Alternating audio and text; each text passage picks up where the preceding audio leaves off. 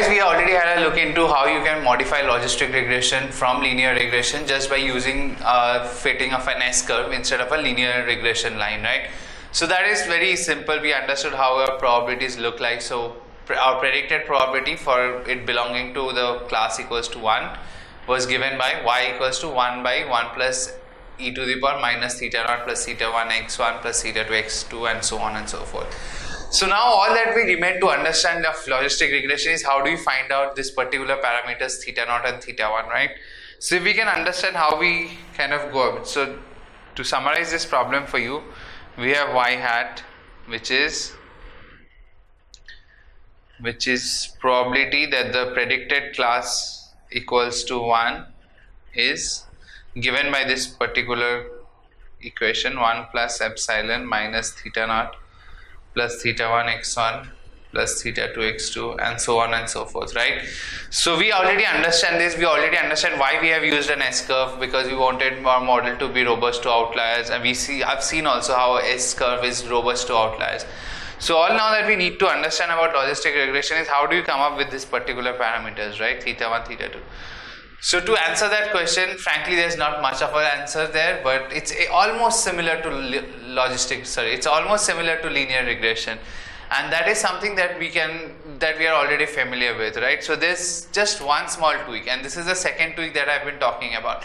So if you remember the starting of the session, I told you there were two tweaks that we are going to do to linear regression to make it modify to, to logistic regression. So the first tweak is this that we have changed from instead of predicting y as theta naught x1 plus theta, theta naught plus theta 1 x1 plus theta 2 x2 and so forth, we are going to predict y as the sigmoid function of the same prediction, right? And this, there's a second tweak that we are going to do right now, which is in terms of how the model is being learned, right? How the training of the model happens. So I'm going to tell you that tweak. I'm not going to keep it a suspect. Uh, yes, I'm not going to keep it a surprise for from you most of it. But let's first understand uh, how did we do it for linear regression? Let's recap that for a bit and then we can kind of understand how the same thing happens for logistic regression. So what did we do for linear regression? For linear regression, what we used as what we did to learn this parameters theta naught and theta 1, right? What did we do? We took a prediction, first we took a loss function, right? So what is that loss function? It was called the MSE loss, right? If you remember. And what is your MSE loss given as? MSE loss is y prediction minus y actual, right? Or y target. And you square that and you sum that for all the possible yi i equals to 1 to m and divided by m m or 2m or however you want to use it. So this is what our loss function looks like, right? So for linear regression, if you clearly remember, so this was our predicted value, predicted. So if it was housing example, we were predicting the housing price and then the actual target housing price, which is actually there in the data, we take a difference, sum of them, square them and then sum them and then average that value, right? That is our MSE loss. So, and what we did finally to find out theta naught and theta 1 was we basically plotted this and we saw that this was a convex function. So, cost, if you put your cost with respect to theta, you would be able to see that this is a convex function and all we did was use gradient descent to kind of figure out what is the best possible value of theta, theta best for which we have the minimum value of cost function sorry minimum value of cost function right? So all we wanted to do was basically minimize this cost function value. So whichever values of theta gave me this particular least value of cost or which basically meant the least value of the mean MSE loss is the one that I went ahead with right? So my whole job of doing gradient descent while doing gradient descent was basically finding out this set of parameters theta such that this cost function is minimized and that's exactly the same kind of analogy we are going to follow into logistic regression as well. So let's let's first kind of take out time. So if you have to do the same kind of thing how would you do that for logistic regression? So in logistic regression this is your target. Let's say a discrete let's take a discrete example and kind of understand how you would do it. So we have a y target 0 you have a y target 1 and y target says 0 right? So there are three examples and you have y say predicted the probability that it would belong to class 1 so let that value be 0.8 or let's say 0.2 here. Let's say it be 0.7 and let's say it be 0.8 here right? So what is the predicted class? If you remember the predicted class for this particular value so for predicted class apart from prediction you need something more which is the threshold. So what is that threshold that is something you have to decide. Now rationally the threshold is 0.5 so if you use a rational threshold of 0.5 then you would come out the prediction class would be 0 because this value is less than 0.5 this value is greater than 0.5 so the predicted class is 1 and the predicted class in this case would again be 1 right? So you can see this is the example. We are clearly misclassifying right so what do we do want to do right now right so we want to basically figure out if we can use the MSE loss as it is right can we use the MSE loss as it is so that's the first question to answer right why do we need to even change MSE loss Ideally, if we can use the same loss that we had used earlier, then we should be able to do good with everything as it is from the previous case, right? Then we don't need to worry much. So can we use MSE loss again as it is? So if we have to use MSE loss, then for that what we have to do is, for each of these particular examples, we have to take the difference between the prediction and the actual values. So the actual value is 0 and the predicted value is 0.2, right? So you take a square of yt minus y pred square. So in this case it is 0 minus 0.2 square which is 0.04. This is 1 minus 0.7 which is 0.3 square 0.09 and this is 0 minus 0. Point, so in this case the actual value is 0 but you have predicted it to be 0.8 right. So the prediction minus actual value is 0.8 square which is 0.64 right. So what do we come up with? What is the what is the loss final MSE value comes out to be. It's 0.09 plus 0.09 plus 0.64. So that is roughly 0.82 by 3 which is roughly around point is 0.27 right. So that is what your mean square error comes out to be. So ideally now let's consider a model in which so this was a model where we had one case wrong right. So now let's consider another model so the same example yt is 0, 1, 0 but you are probably much better off this time. So you have a model which for corresponding to 0 you have a prediction which is almost close to 0 say 0.1 you have a model which is for 1 it predicts a probability of 0.9 and for this also it predicts a probability of say 0.2 so can we calculate the MSE loss again here? So MSE loss yt minus y prediction square. So this is 0 minus 0.1 square is 0 0.01, 0 minus 1 minus 0.9 which is 0 0.01 again. And 0 minus 0 0.2 square which is 0.2 square is 0.4 right. So what is the final MSE loss? Here it comes out to be MSE, lo loss comes out to be 0.4 plus so 0.6 by 3 which is roughly equal to 0.02 so you can clearly see for a model that was much better in prediction right? So when i'm predicting this is a much better prediction right? Because we got all of the answers correct in this case. In this case there was one at least one miscorrect. And also we see that for whatever value it is predicting it is predicting pretty closely right? So if it's predicting 1 it's predicting with a probability of 0.9 whereas this is predicting with a probability of 0.7 so obviously this is this model is much better than this, right? Because whatever it is predicting, it is not only predicting it correctly, it is predicting also with a much more higher confidence.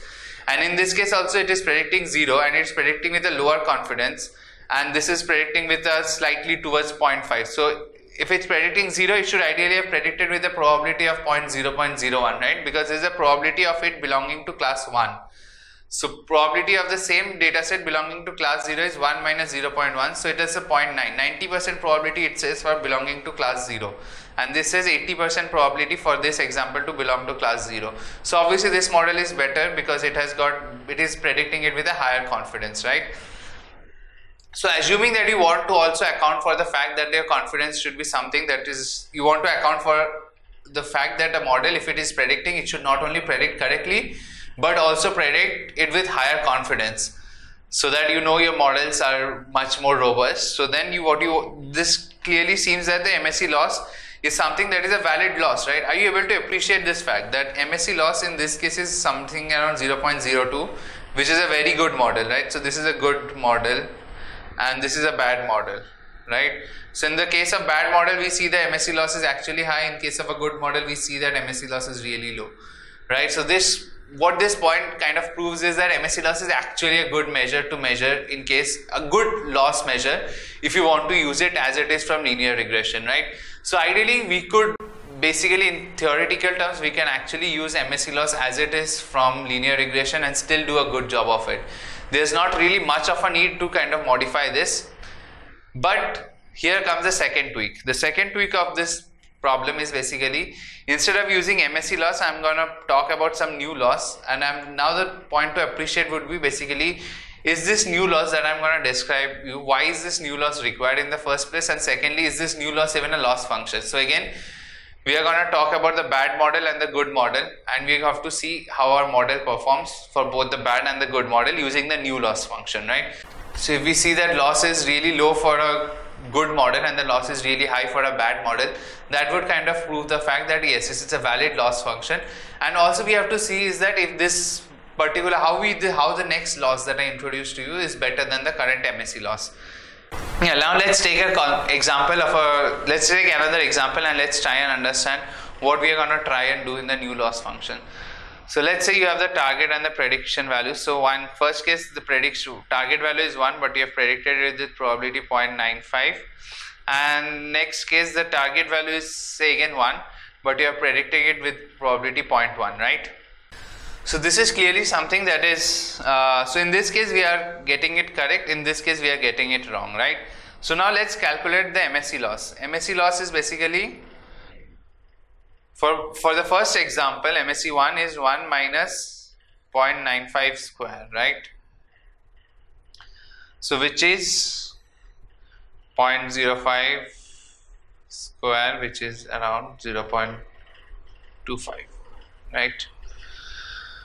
So MSE2, which is 1 minus 0.1 square, which is 0.9 square which is 0.81 right? So now instead of MSE loss let's MSE loss was target minus prediction square right? So now there's a new loss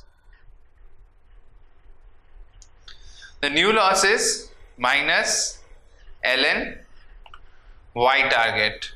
If y is if your predicted if your yt is equals to 1 and it's minus ln 1 minus y target if y target equals to 0 right? So basically this says that if your predicted target is 1 then you take the probability as it is. If your predicted target is 0 so then take 1 minus probability because this is the probability of it the example belonging to class 1 right? So if your class level is 0 then you basically want to check what is the probability of that class example belonging to class 0. So you take the log of that probability and that probability is given by 1 minus probability of this. So y is y hat is your probability that predicted example is equals to 1 right and 1 minus y hat is probability y belongs to 0 right? So what you're doing is basically the, for whichever class it is you are taking the log of the probability. So if the target class is 1 then you're taking the log of probability of it belonging to class 1 if the target class is 0 you are taking the probability of it belonging to class 0 so this is the probability of the example belonging to class 0 right? So this is a new loss function that you have here. So now using the new loss function let's see what is so let's call it new loss okay so or probably let's call it and let's give it a name. It's let's what is a good name for it? So you have a log here and there's a negative out here. So let's call it a negative log loss. So NLL right? So negative log loss is basically this particular thing right? So if you have a log of your probability of your probability of the correct class. The correct class as in correct as in defined in the target variable right? So whatever is the target variable that is your correct class and for that correct class if your correct class is 1 then you take the probability of it belonging to class 1 if it's a correct class is 0 then you take the probability of 1 minus that. Because this is y hat gives you the probability of belonging to class 1 and 1 minus y hat gives you the probability of belonging to class 0 so if the correct class is 0 you take the probability of it belonging to class 0 if the target class is 1 then you take the probability of it belonging to class 1 so now negative log loss in the first case. So first case my target class is 1 so I'm going to take directly minus ln of 0.95. So now if you do this calculation, so ln of 0.95 is roughly 0.05. So minus of minus 0.05. So this is 0.05 roughly. And now you take the negative log likelihood in the second case. It is minus ln of 0.9. So if you take log of natural log of 0.9 you will see this comes out to be somewhere around 2.31 or something. So minus so yeah basically my, this is minus of minus 2.31. So this is basically plus 2.31. So what I'm saying, so now if you compare this case, so this is the case in which our model got a good result, right? In this case, you see that this model is MSE is basically penalizing it a lot more, right? Even though my model was actually correct. In this case, you see the negative log loss is actually low, lower, right? If it's because this was a correct classification, my loss should actually be low, right? If it's a correct classification. In this case, this is the first example, right? Uh, my target class was 1 and my predicted class was 0.95. This is what I predicted. You see if I take MSE loss, my actual loss value is really high. Whereas in this case, my loss value is really low in because it was an it was an correct classification this is how it should be right? This is what you want right? Because if it's a correct classification you want the lo loss value to be as low. So this is obviously not something that is good right? Because this case MSE loss has given you a higher loss value even though you had done a correct classification.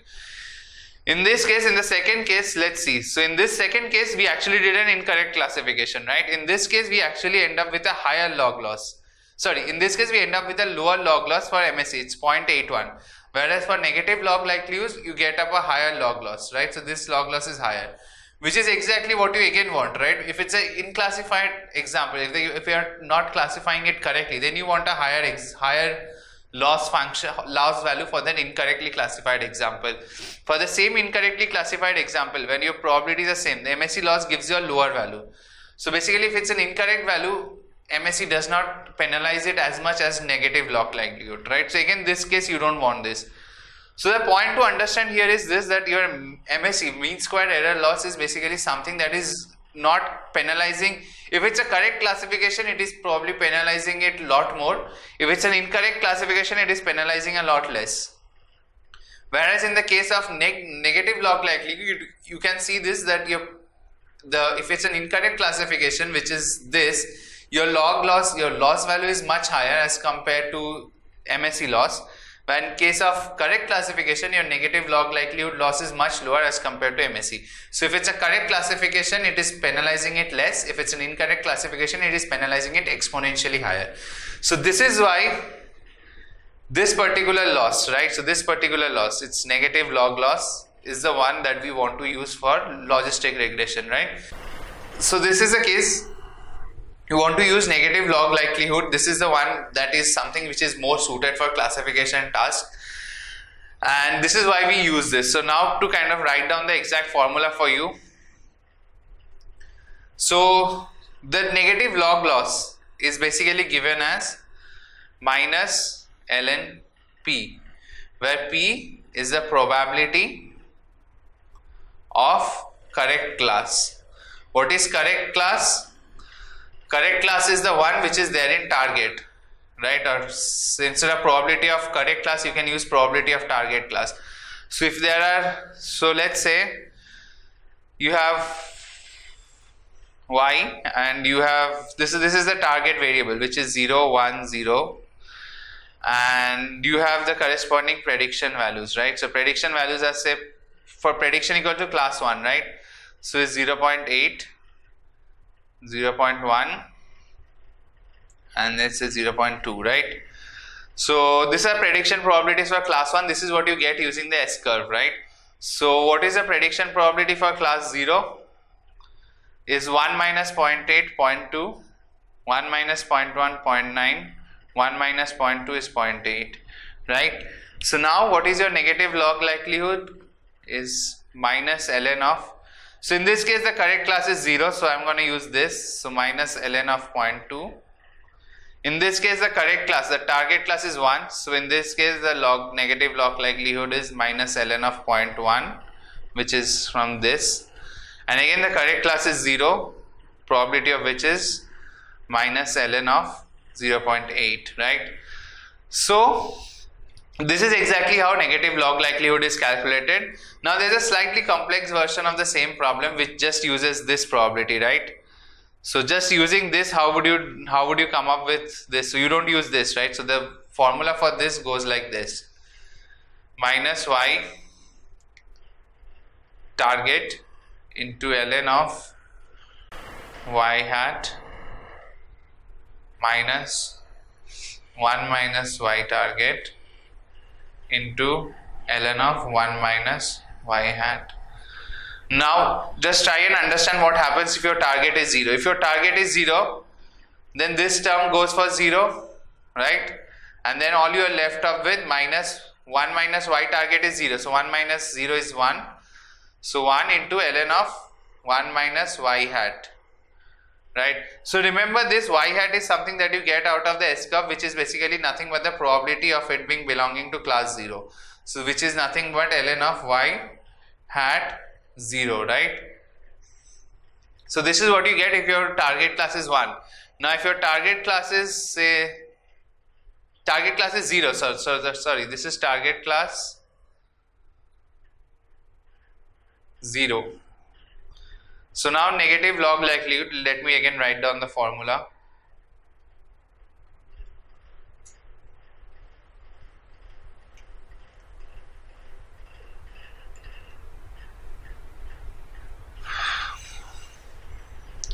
Right so now if your target class is 1 if your target class is 1 this term goes for 0 so then you are left with this right? So minus 1 into ln of y hat right? So ln of y hat is nothing but the ln of so y hat is already the probability of it belonging to class 1 right? So minus of this. So that is for target class 1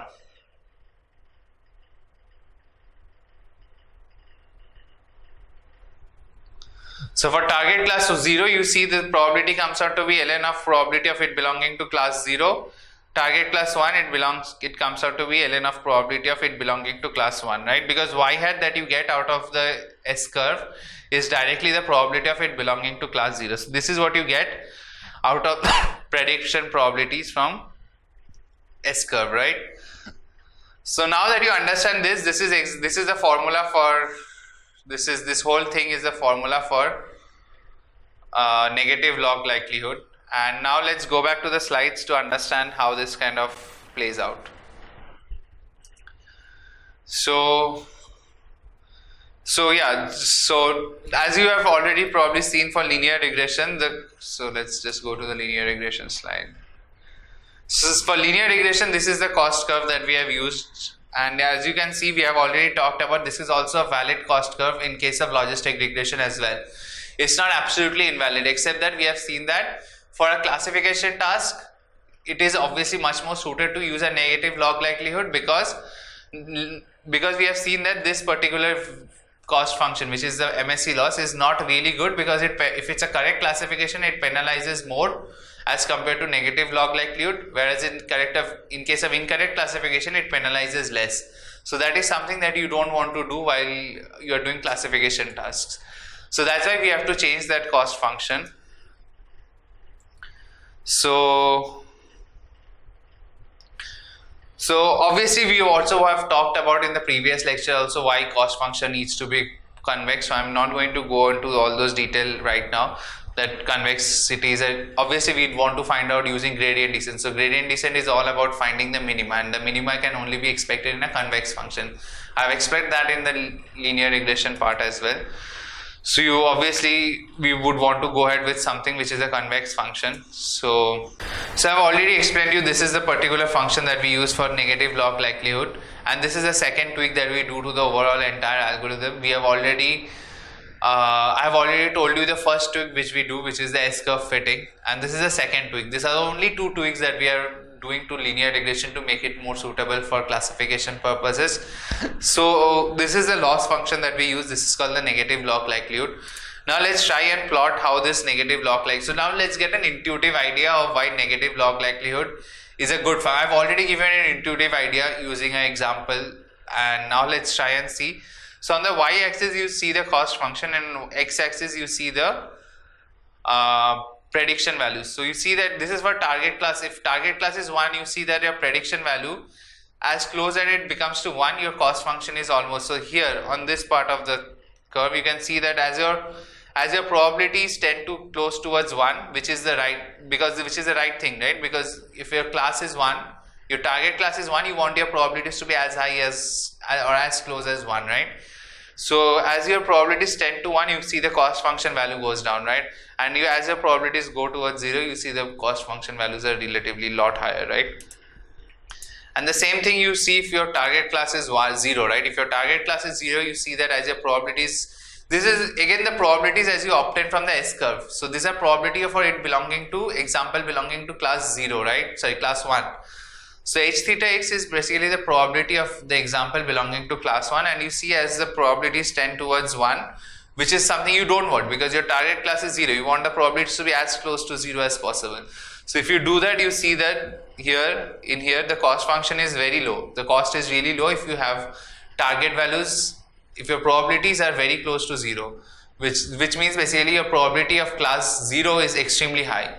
So this is probability of class 1 and so probability of class 0 is 1 minus this probability. So as your probabilities of example belonging to class 1 goes towards 0, which means probability of it belonging to class 0 goes towards 1 you see the cost function is low right? Because the target variable is 0 and that's what you want.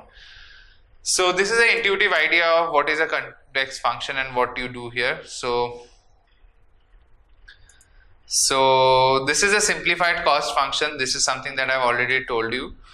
So then our equation is this and uh, this is the same thing right? This is just to kind of summarize. So when y equals to 0 your function is basically minus log of 1 minus the prediction. And your prediction being the probability of it belonging to class 1 so 1 minus that prediction is the probability of that belonging to class 0 right and this is the first this is the this is a case where your target variable is 1 and you can see that the prediction is minus log of the probability of it belonging to class 1 itself. h theta x I am told repeatedly is basically the probability of it belonging to class 1 right.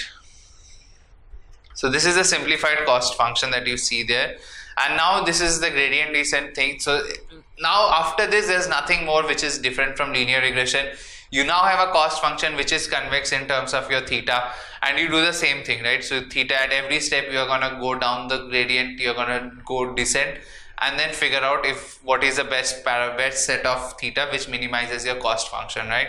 So I've already explained that in the linear regression slide and linear regression lecture so I'm not gonna go over it right now again. So yeah so we are almost done with logistic regression. There are just few parts which are still remaining to kind of solve. So now we have ended logistic regression. Let me summarize this for you. The first part is we take a linear regression curve which is a straight line and instead of fitting a straight line we did fit a S curve that was the first tweak. The second tweak was instead of using a mean square error loss we used a negative log likelihood loss. And those are the only two tweaks that we did to linear regression and we have logistic regression so as I've explained to you already, this particular thing where you use instead of using mean square error loss, you use negative log likelihood.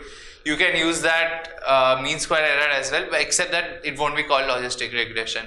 And the first part is we did S-curve fitting. Why? Because we wanted our model to be more robust, right? When we added outliers in the first case, we saw that our decision boundary changed very quickly when we were using a linear regression straight line. To counter that, we had a S-curve that we had fitted instead of fitting a straight line. So now that you understand these are the two most things that goes on training time, what are the more important things that goes on in testing time? In testing time, there's again slightly bit of difference from linear regression. Earlier linear regression would give you a direct prediction value. So housing price, if you were trying to predict, it would directly give you the prediction value. In this case, what you get prediction is basically a probability score. The probability score is a score which you get after sigmoid, after you applied sigmoid on the entire linear regression equation.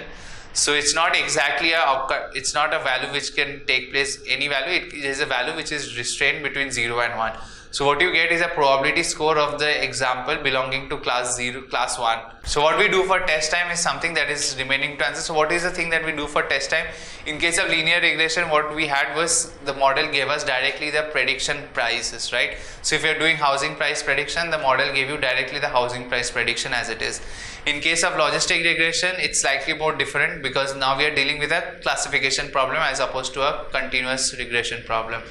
So in classification problem, what we now have to do is the prediction value is a probability that we get now, which is obtained by doing a sigmoid transformation. So now after S-curve fitting, for any given point, we get a probability which is lying between 0 and 1. And based on that probability and the threshold, which we decide for ourselves, uh, we come up whether the corresponding predicted class is 1 or predicted class is 0. So, so for every prediction, you need two things, right? The model, which is this S curve that we have fitted. From the S curve, you will get the probability of the example belonging to class 1 and the threshold is the second thing that you require. So the threshold is something you decide by yourself. The threshold is normally rationally set it to be 0.5 but you could use different thresholds for different business applications and depending on the threshold if the, your prediction probability is greater than threshold you come up with a value which is you predict the class as positive class and if your value predicted probability is less than the threshold you predict it as negative class. So given that is the thing now we are left with last part. Log on to GreyAtom's learning platform to unlock more free content. Subscribe to our channel and hit the bell icon for regular updates